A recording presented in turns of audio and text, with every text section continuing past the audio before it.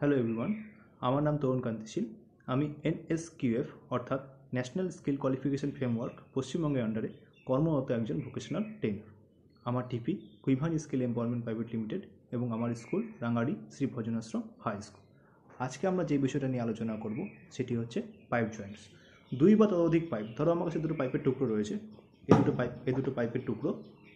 এই টুকরো দুটো আমি জয়েন করব। এই পাইপ টুকরো দুটোকে জয়েন করবার যে পদ্ধতি, সেই পদ্ধতিগুলো নিয়ে আজকে আমরা এই ভিডিওতে আলোচনা করব। এই ভিডিওতে আমরা দেখে নেব কী কী ধরনের পাইপ জয়েন থেকে থাকে এবং সেই পাইপ জয়েনগুলো দিয়ে কোন কোন ধরনের পাইপ আমরা সহজেই জোয়া লাগাতে পারি। দেখো, এখানে একটা ছবি দেওয়া রয়েছে। এখানে বিভিন্ন ধরনের পাইপ দেওয়া পাইপ জোয়া লাগা লাগা- লাগানো হয়েছে।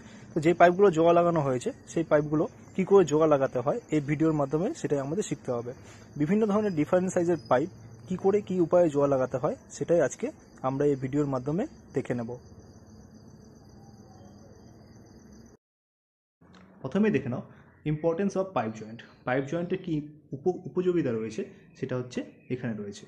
দুই বা ততোধিক পাইপ একত্রে জোয়া লাগানোকে ফিটিং বলে। এই যে আমি দুটো দুটো পাইপ দেখিয়েছিলাম, এই দুটো পাইপকে একসঙ্গে জোয়া লাগানোর পদ্ধতিকে কী বলছে? ফিটিং বলছে। প্রয়োজন অনুসারে বিভিন্ন পাইপে বিভিন্ন জোয়া লাগানোর পদ্ধতি ব্যবহার করা হয়ে থাকে। বিভিন্ন ধরনের পাইপের ক্ষেত্রে আমরা বিভিন্ন রকম জোর ব্যবহার করে করে থাকি। এই ভিডিওতে আমরা সেটাই দেখব যে কত ধরনের জোর থেকে থাকে এবং কোন পাইপের ক্ষেত্রে কোন জোরগুলো ব্যবহার করা হয়ে থাকে। জোর ব্যবহার করার সময় আমাদের এই জিনিসটা মাথায় রাখতে হবে যে সেই পাইপের মধ্যে দিয়ে যে তরলটা ফ্লো হবে বা যে তরলটা প্রবাহিত হবে, সেই তরলের চাপটা যেন সেই জোরটা সহ্য করতে পারে। প্রথমে দেখে নাও কী কী ধরনের পাইপ জয়েন্ট থেকে থাকে। Threaded joint, spigot and socket joint, welded joint welded joint দু রকমের, butt welded, socket welded, braze joint, shoulder joint, groove joint, plain joint, compression joint. এই জয়েন্টগুলো সম্পর্কে আজকে আমরা ভিডিওতে আলোচনা করব এবং দেখে নেব যে কোন জয়েন্টটা কী করে ব্যবহার করা হয়ে থাকে। প্রথমেই রয়েছে থ্রেডের জয়েন্ট তোমরা পাশের চিত্রতে দেখতে পাচ্ছ, দেখে নেবে। এখানে দেখো, আমরা তো থ্রেডিং করতে জানি মেল থ্রেডিং এবং ফিমেল থ্রেডিং এই ধরনের জয়েন্টগুলো যখন হবে, তখন একটা মেল থ্রেডিং দরকার। এই যে আমি মার্ক করলাম ছবির উপরে, এটা হচ্ছে মেল থ্রেডিং কেননা বাইরের দিকে থ্রেডিং করা রয়েছে। আর পাশে যে থ্রেডিংটা রয়েছে, এটা হচ্ছে ফিমেল থ্রেডিং বা স্ত্রী জোর এরকম দুটো জোর যখন থাকবে পাইপে, সেক্ষেত্রে আমরা থ্রেডের জয়েন্ট ব্যবহার করতে পারি। সাধারণত তামা পিভিসি পাইপ জিআই পাইপ এই ধরনের জোর দেখতে পাওয়া যায়। ছ মিলিমিটার থেকে তিনশো মিলিমিটার বা এক ফুট পর্যন্ত ব্যাসের যে পাইপগুলো থাকছে, সেগুলো জোরের ক্ষেত্রে আমরা এই জোরটা ব্যবহার করতে পারি। কম তাপমাত্রা এবং কম চাপ, চাপযুক্ত প্রবাহের ক্ষেত্রে এই ধরনের জোর উপযোগী। অর্থাৎ থ্রেডেড জয়েন্ট যেটা রয়েছে, সেটা কম তাপমাত্রা এবং কম চাপ, চাপযুক্ত তরলের প্রবাহের ক্ষেত্রে উপযোগী। কেন? কারণ বেশি তাপমাত্রায় জোরটা আলগা হয়ে যেতে পারে এবং পাইপে লিক হয়ে যেতে পারে। লাগানো এবং খোলার পদ্ধতিটা সহজ, কিন্তু এই পাইপে এই জোরে রক্ষণাবেক্ষণ খুব প্রয়োজন। এখানে ছবিতে দেখতে পাচ্ছ, একটি সকেট দেওয়া রয়েছে। সকেটের ভিতরের দিকে থ্রেডিং রয়েছে। দুটো পাইপ আনব আমি। পাইপের যেখানে বাইরের দিকে থ্রেডিং থাকবে, সেটাকে ক্লকওয়াইজ এবং এন্টি ক্লকওয়াইজ ঘুরিয়ে এই পাইপের সঙ্গে জোয়া লাগানো হয়ে থাকে। এরপরে রয়েছে স্পাইগট অ্যান্ড সকেট জয়েন্ট। পাশের ছবিতে তোমরা দেখতে পাচ্ছ। এক্ষেত্রে সহজে জোড়া লাগানো এবং খোলা যায়। একটি পাইপের শুরুর প্রান্তের দিকে পাইপের ব্যাস একই থাকবে এবং শেষের প্রান্তের দিকে একটি সকেট লাগানো থাকবে এবং দুটো পাইপ সেই সকেটের ভিতরে ঢুকে গিয়ে লেগে যাবে। পাশে যে চিত্রটা দেখতে পাচ্ছ, সেই অনুযায়ী হবে। কি করে হয়, সেটা আমরা একটা ভিডিওর মাধ্যমে দেখে নেব এখন। ছবিতে, এই ছবিতে তোমরা দেখতে পাচ্ছ, একটি পাইপের পিছনের প্রান্তে সকেটের মতো বানানো রয়েছে। সেখানে অপর একটি পাইপ- সামনের প্রান্তে ঢুকে গিয়ে এই জোরটা তৈরি করা হয়ে থাকে। এরপর আসছে ওয়েল্ডেড জয়েন্ট ওয়েল্ডেড ওয়েল্ডিং করা। ওয়েল্ডেড জয়েন্ট মানে তোমরা বুঝতে পারছ যে ওয়েল্ডিং করে পাইপটাকে জয়েন করা হবে। তো ওয়েল্ডেড জয়েন্ট দু প্রকার। একটা হচ্ছে বাট ওয়েল্ডেড জয়েন্ট একটা হচ্ছে socket welded joint butt welded joint জয়েন্টটা প্রথমে আমরা দেখছি। বড় বাণিজ্যিক বা শিল্প প্রতিষ্ঠানে পরিচিত বিশেষ পাইপ জোর হচ্ছে বাট ওয়েল্ডেড জয়েন্ট। অর্থাৎ বড় বাণিজ্যিক বা শিল্প প্রতিষ্ঠানে এই ধরনের জোর বেশি দেখতে পাওয়া যায়।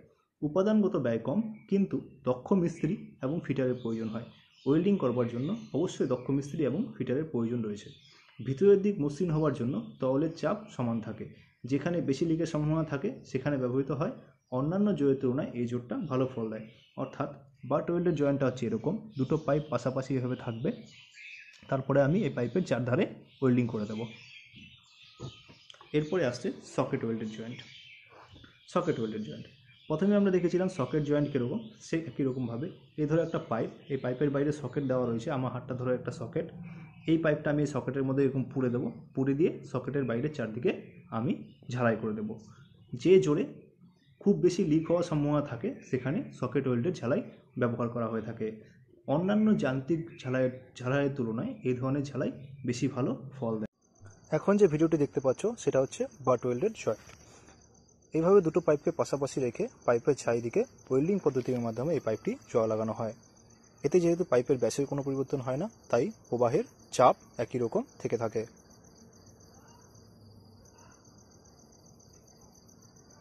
এরপর আমরা দেখব socket welding joint socket joint আমরা দেখেছি, একই রকম একটি পাইপের সকেটের মধ্যে আরেকটি পাইপ ঢুকে যাচ্ছে, ঢুকে গিয়ে এর বাইরের চারিদিকে ওয়েল্ডিং করা হচ্ছে। যেখানে হাই লিকেজের সম্ভাবনা রয়েছে সেই সমস্ত ক্ষেত্রে এই ধরনের জয়েন্টটা করা হয়ে থাকে।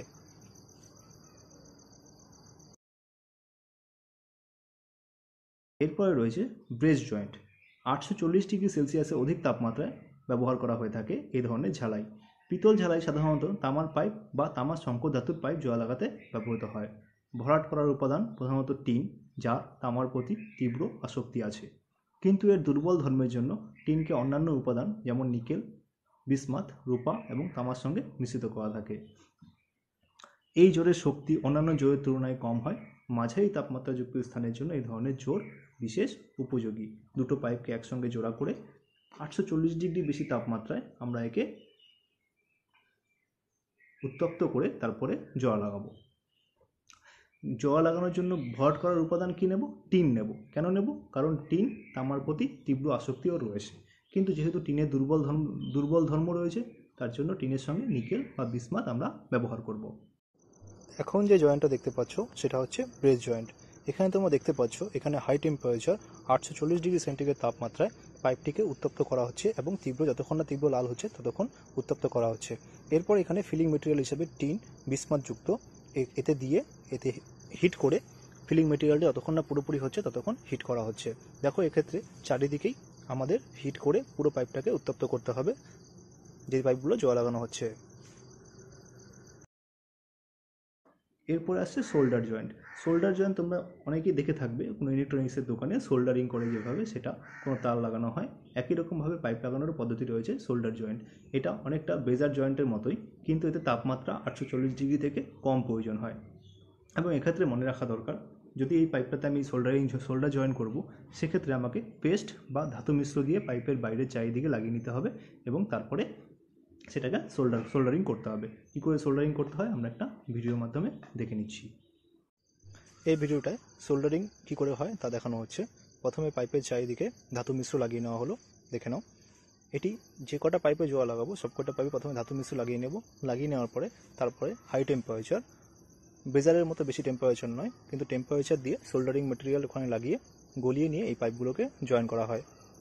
কম চাপের যে যে সমস্ত তরল প্রবাহ রয়েছে, সে সমস্ত ক্ষেত্রে এই ধরনের জয়েন লাগানো হয়ে থাকে। এরপরে রয়েছে গ্রোভ জয়েন্ট সহজে খোলা ও লাগানো যায় এই ধরনের জয়েন্টগুলো এতে লিকেজের সম্ভাবনা কম থাকে। এবং এতে মজুরিও কম লাগে। সাধারণত অগ্নি যে ব্যবস্থা রয়েছে, ফায়ার ব্রিগেডে এই ধরনের জয়েন্ট বেশি ব্যবহার করা হয়ে থাকে। এছাড়াও কম চাপের পয় প্রণালী এবং মেশিন থেকে যে জলের নিষ্কাশন হয় বা ছাদের নিষ্কাশন ব্যবস্থায় এই ধরনের জয়েন্টগুলো ব্যবহার করা হয়ে থাকে। আমরা একটা ভিডিওর সাহায্যে দেখে নিচ্ছি এই ধরনের জয়েন্টগুলো কী করে লাগানো হয়। এখন যে ভিডিওটা দেখতে পাচ্ছ, সেটা হচ্ছে গ্রোভ জয়েন্ট। দুটো পাইপকে বার্ড জয়েন্টের মতো একসঙ্গে পাশাপাশি রেখে তার উপরে গ্যাসকেট লাগিয়ে নিয়ে ক্লিপ দিয়ে আটকে নেওয়া হয়। নাট বোল্টের সাহায্যে টাইট করা হয়ে থাকে। যে পদ্ধতিটা তোমরা ভিডিওতে দেখতে পাচ্ছ, সেই একই পদ্ধতিতে এই পাইপগুলো লাগানো হয়ে থাকে। যেহেতু লাগানো এবং খোলা খুবই সহজ, তাই এই পদ্ধতি বহুল ব্যবহৃত হয়ে থাকে। মেটাল পাইপ হোক কিংবা প্লাস্টিক পাইপ, দু ধরনের পাইপের ক্ষেত্রেই আমরা এ ধরনের জয়েন্ট ব্যবহার করে থাকি। মেশিনের সাহায্যে জল দেওয়ার জন্য এ ধরনের জয়েন্ট ব্যবহার করা হয়ে থাকে, কিংবা কোনো অগ্নি ব্যবস্থার ক্ষেত্রেও এ ধরনের জয়েন্ট ব্যবহার করা হয়ে থাকে। এবারে আছে ফ্লেন জয়েন্ট। বর্তমান পাইপ ব্যবস্থাতে ফ্লেন জয়েন্ট ব্যাপকভাবে ব্যবহৃত হয়। এদের সহজে খোলা এবং জোড়া জোড়া লাগানো যায়। এই ধরনের জোর একটু দামি ধরনের হয়। সাধারণত ফ্রেঞ্চ পাইপের উপর প্যাচ কেটে লাগানো হয় কিংবা ঝালাই করে একেবারে লাগিয়ে দেওয়া হয়। আমরা একটা ভিডিওর সাহায্যে দেখে নিচ্ছি প্লেন জয়েন্টের ব্যবহার। এখন যে ভিডিওটি দেখতে পাচ্ছ, সেটা হচ্ছে ফ্রেঞ্চ জয়েন্টের ভিডিও। দুটো পাইপের শেষ প্রান্তে ফ্রেঞ্চ লাগানো হয়ে থাকে। হয় থ্রেডিংয়ের মাধ্যমে, না হলে ওয়েল্ডিংয়ের মাধ্যমে। তারপরে দুটো ফ্রেঞ্চ লাগানোর আগে তাদের মাঝে অবশ্যই গ্যাসকেট দিয়ে নিতে হবে। গ্যাসকেট দিয়ে নিয়ে তারপরে নাট বল্টুগুলো টাইপ ফাস্টেনিং অথবা লুজিং করে নিতে হবে খুলবার জন্য আর লাগাবার জন্য। মনে রাখতে হবে, গ্যাসকেট অবশ্যই দিতে হবে যাতে করে কোনো লিকেজ না হয়।